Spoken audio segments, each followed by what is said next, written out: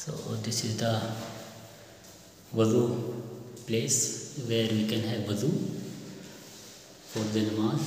See just how beautifully it's made inside the stadium. Two person can have at a time and one uh, who need wheelchair or something. You can have wudu from there.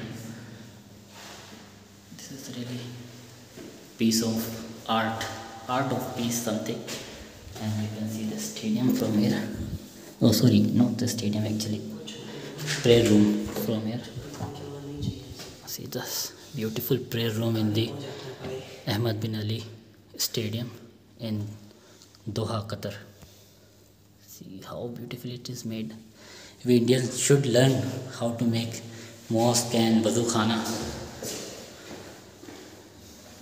that will be like very comfortable for everyone actually thank you. Like share and comment and follow me for the FIFA World Cup 2022 thank you. Hafiz